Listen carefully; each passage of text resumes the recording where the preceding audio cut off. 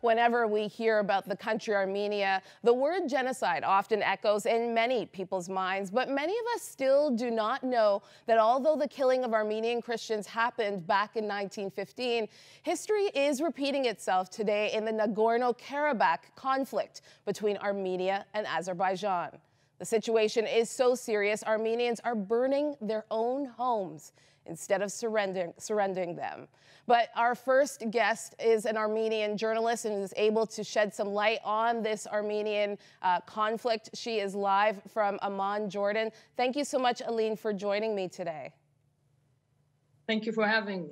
So, Aline, the situation in Armenia is devastating. Although COVID and elections have taken center stage globally, um, can you give us an idea of what the situation in Armenia is like right now? well, this this conflict has, you know, suddenly burst out into a full like war for the past 44 days since uh, started on September 27 and ending on November 9. And during this war, uh, 150,000 Armenians were affected. Some of them lost everything they have in their cities and towns, and some of them managed to uh, uh take the bus ride to Armenia, which is a very, very long way. It's about 10 to 12 hours uh, by bus or car, and that's how they escaped the shelling. Uh, some of them, of course, stayed in their towns and villages, and um, many kids and moms died in a hospital in a maternity ward that was shelled. And uh, some of them refused to just leave. They said, We will not leave our towns, we will not leave our churches, and we will stay here to defend them. So it's a very dire situation for the ones who have left, and winter has started. Right. And a church has also been attacked, we hear?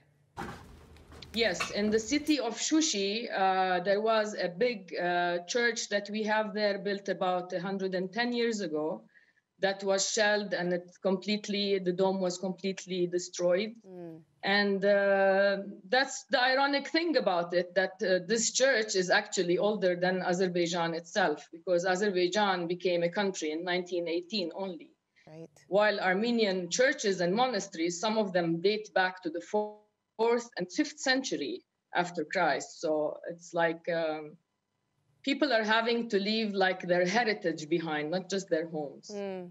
And, and why is November 9th considered a sad day for Armenians around the world?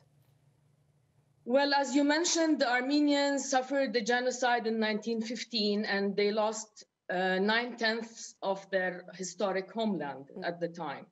So the ones who were lucky just walked, you know, through the Arabian deserts and they, they reached the Middle East and later on they emigrated to other countries. So so now they seem to be losing yet another part of their homeland. I mean, it's not as if that was enough. Now we have this uh, conflict in Nagorno Karabakh, which the Armenians call, call Artsakh. And, uh, and there were Armenians in Nakhichevan as well, which is also now part of Azerbaijan. I mean, it was like a political map which was redrawn in 1921. And that's how the Azeris got control of Nagorno Karabakh and Nakhichevan. I mean, anyone who looks at the map would see that Nakhichevan is not even connected to Azerbaijan and it's part of it. So Armenians, for Armenians, these are ancestral homelands. Uh, actually, in Karabakh, we have the first Armenian school was established there after the Armenian alphabet was, you know, written down uh, in 406 AD. So you're talking about people who have built 4,000 monasteries, churches, cathedrals, and castles in Karabakh. Right. And yet, you know, the Azeris have the audacity to claim that this is their land. So it's sad that the people are having to leave their homes again. They're even carrying church bells. You know, they you cannot really carry them. And uh, one one uh, bishop has said, "I will not leave. I will either take these with me because they're 800 years old, or I'm going to stay here and defend them and probably die." Wow. So, um, so Aline, what yeah. the, what does the future hold for Armenians, and how do you think reconciliation can be possible? Well, unfortunately, the peace deal, well, it wasn't a peace deal. This deal that was struck by the Russians and they made the Armenians sign, and like the majority of Armenians outside of Armenia, of course, everybody is against these uh, latest agreements. And uh, in Armenia, proper 17 political parties are up against one, the prime minister's party, and they've asked him to uh, relinquish, uh, not, I mean, let go of the ceasefire, but the, some of the terms are inagreeable to Armenians because they even give Turkey a landline through Nakhichevan and through Armenia to Azerbaijan. And this is a big, a big problem for Armenians. So as long as, you know, uh, peace is not uh, based on any fair deal, I do not see the peace continuing. And uh, unfortunately, we don't want to see another war, of course, because all those young lives were lost. Right. Most of the soldiers were 20, 21 year olds, volunteers, you know. You know, this conflict is not getting a lot of media exposure here in Canada. What's your message for us and how can we help?